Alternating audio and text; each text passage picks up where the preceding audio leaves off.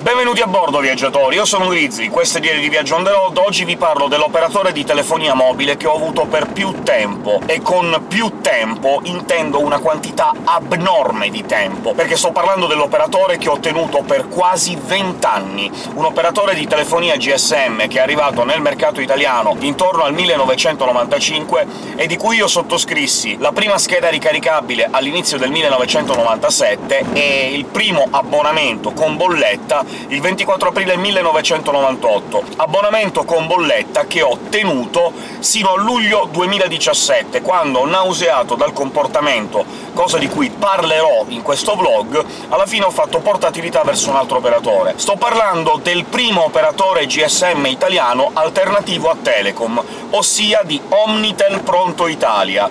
che per i più giovani è successivamente diventato Vodafone. Cominciamo! Sigla!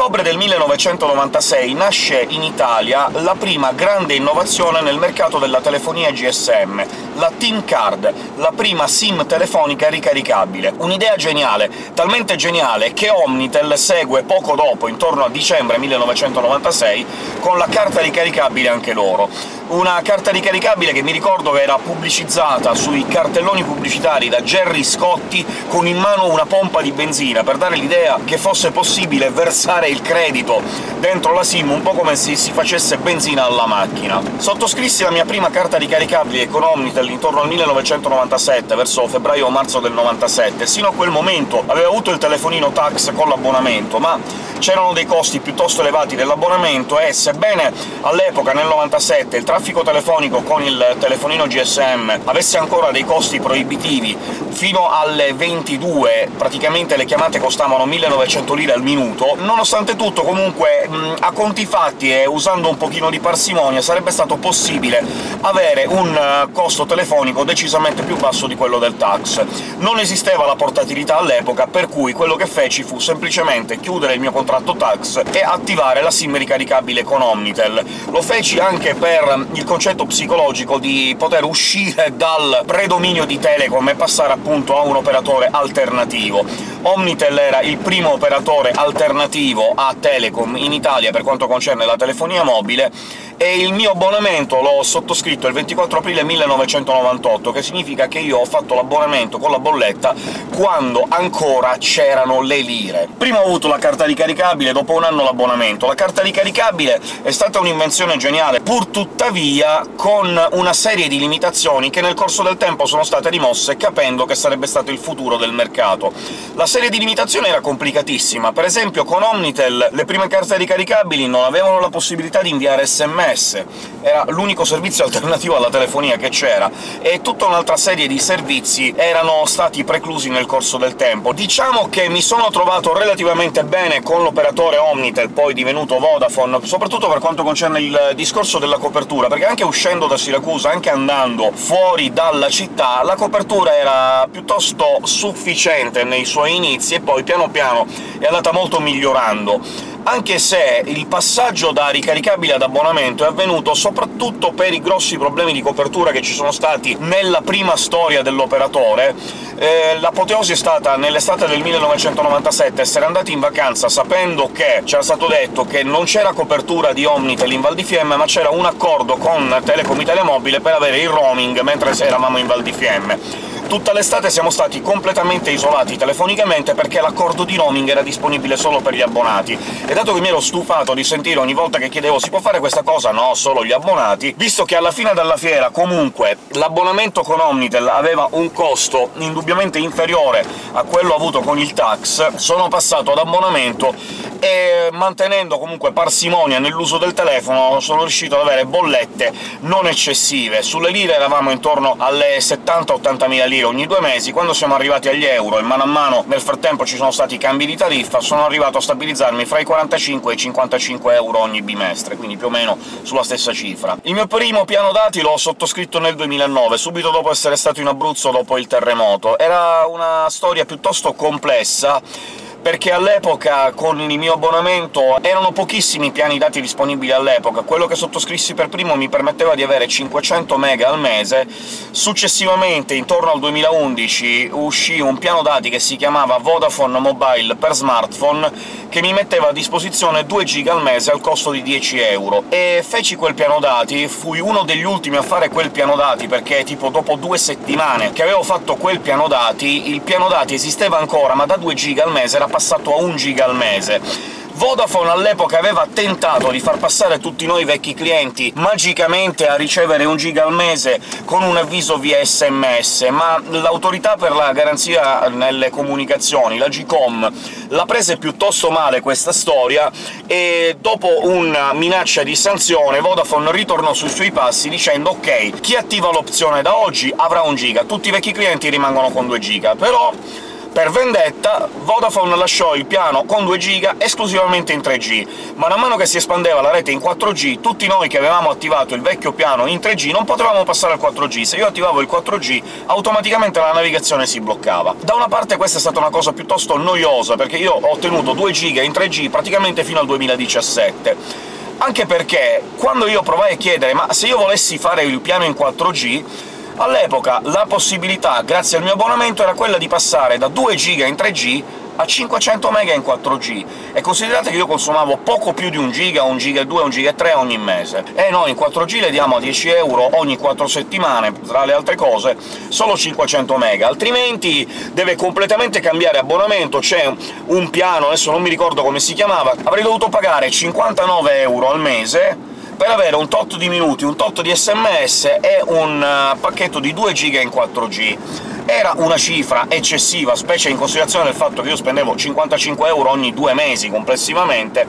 quindi rinunciai, eh, fino al 2017, quando, a seguito dell'ennesima magagna, in cui, dopo che mi avevano attivato una serie di servizi dicendo «a fronte di questi servizi per un mese le diamo questo servizio gratuito, poi lo paga 1,99 euro, se vuole lo può disdettare». Due volte ho fatto la disdetta, la terza volta dal prossimo mese lei paga 1,99 euro ogni quattro settimane, se vuole può rinunciare al contratto e andare con un altro operatore. Il punto è che Vodafone è stato il primo, ed è attualmente il più grande operatore di telefonia mobile GSM in Italia,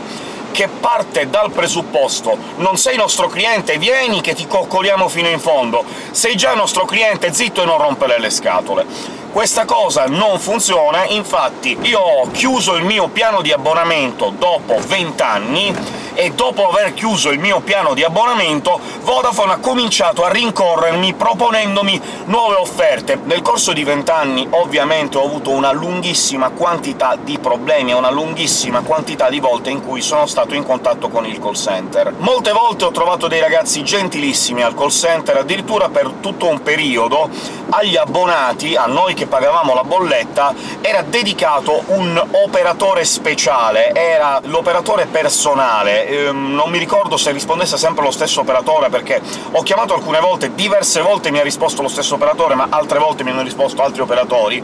però c'era l'operatore personale, che aveva tutta la mia scheda, che poteva risolvere molto velocemente i miei problemi, le cose che normalmente ai clienti venivano attivate entro le 24-48 ore, a me venivano attivate entro le 2-3 ore, questo sì, però ho avuto anche situazioni al limite dell'assurdo. Una volta, per una situazione molto grave, chiesi all'operatore delle informazioni, l'operatore mi lasciò in attesa per più di 40 minuti. Una volta, e ancora l'operatore si chiamava Omnitel, quando facevo numeri di telefono di altri clienti Omnitel,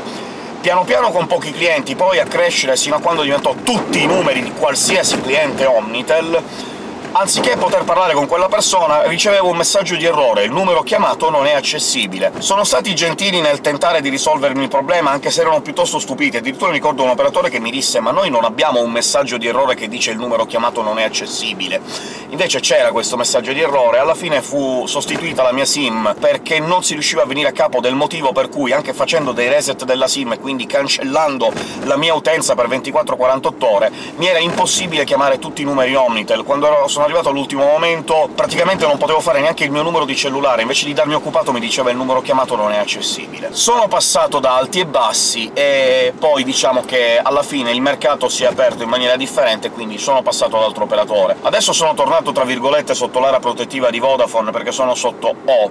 anche se sono tentato di passare presto di nuovo a un altro operatore, perché ci sono condizioni di mercato più interessanti, soprattutto per chi fa il passaggio dagli operatori virtuali come O o Iliad, e questa è una cosa da tenere a mente. Tra le altre cose, comunque, diciamo che alla fine della fiera è interessante questo discorso che comincia a esserci una seria concorrenza sul mercato, che può fare solo bene al mercato. Bene ragazzi, questa è stata la mia esperienza con Omnitel Pronto Italia, poi divenuto Vodafone Omnitel, infine è divenuto Vodafone. Voi che cosa mi raccontate? Siete utenti di Vodafone? Siete stati utenti di Vodafone? Siete stati utenti di Omnitel Pronto Italia? State pensando al passaggio di Vodafone? State pensando al passaggio di Vodafone in rete fissa, per esempio? Io ho avuto molti clienti che hanno avuto o hanno attualmente Vodafone come rete fissa. C'è chi si è trovato bene, c'è chi non si è trovato bene. Diciamo che anche lì di nuovo si nota questo modo di essere molto gentili con chi sta diventando un nuovo cliente e molto meno gentili